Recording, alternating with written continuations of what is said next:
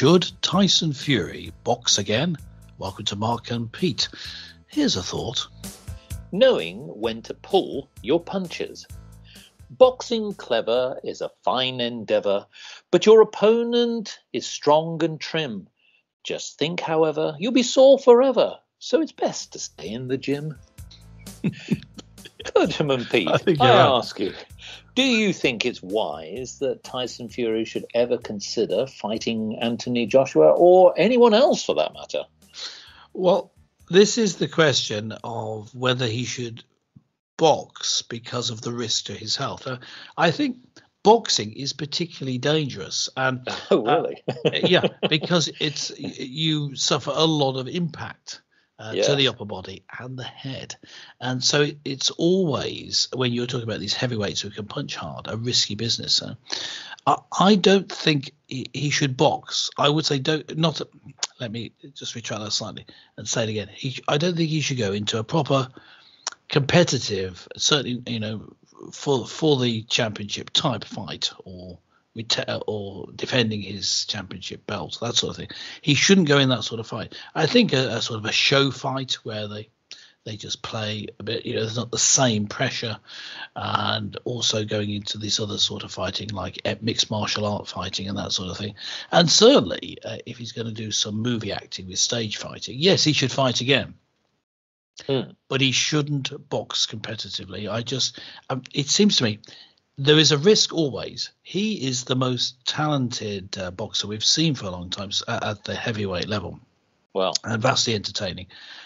We don't want to lose him to a um, to a, a stray punch because you can always get brain damage from one of these punches. He seems to have survived so far without that, and I would like him to, to continue. So, just a humanitarian level, because I like him, I would say, don't box competitively again.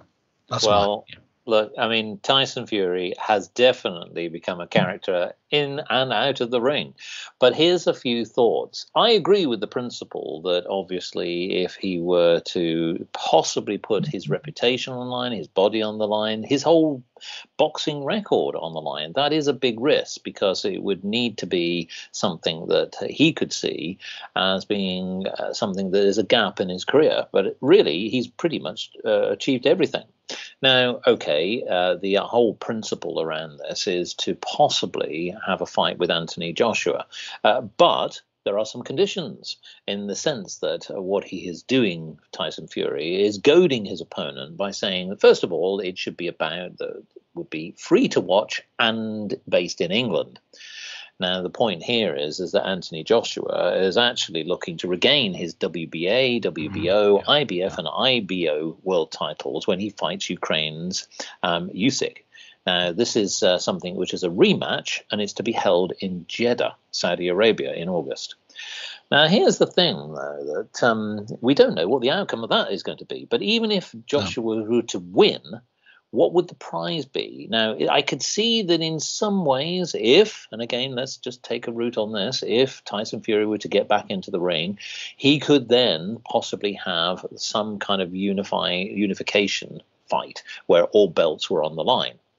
But here's another thought. You mentioned something else here, which I, I was slightly concerned about. Um, if Tyson Fury does not go into the ring, with uh, Anthony Joshua or anyone else in the traditional boxing sense, beware of the other types of activities. Martial arts and those mixed martial arts, learn your lesson. Because Muhammad Ali, remember him? Yes, often considered to be the greatest boxer of all time, did something very, very similar in the late 70s, early 80s.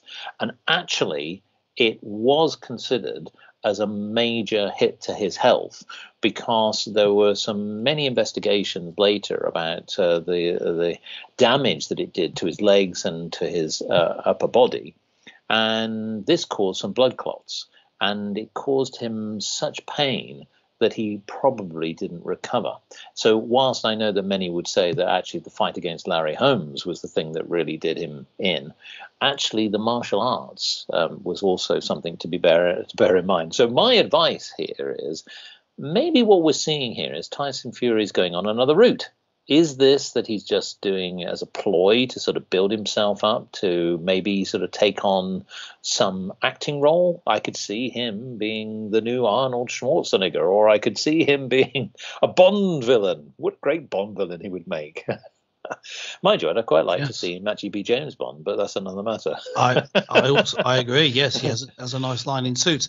Look, I think that uh, with for Tyson Fury, he has done some uh, boxing. I think he was uh, some other forms of fighting. He's yeah. already done it, and um, uh, uh, yeah, it may be that uh, that that that's a mistake as well. But certainly they're not as risky as these heavyweight sure. heavyweight boxing sessions. And if he's thinking of not going back into the ring boxing, it's worth it's worth pursuing these other forms to to get um, more exposure. But I and for fun, I guess.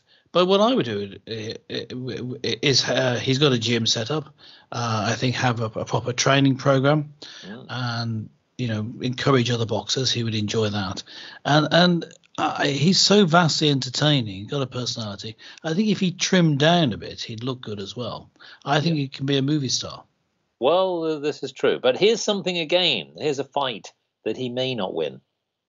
And Tyson, we yes. know that you, and I'm sure he's a great fan of the show, yeah, would probably beat most of the professional boxers out there. But really, do you want to get in a fight with your wife? You've already promised that you wouldn't do it again.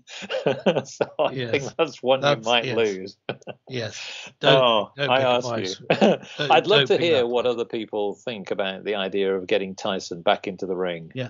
And, and also, yeah, true. And also, I think that's that's another point where like people's comments on.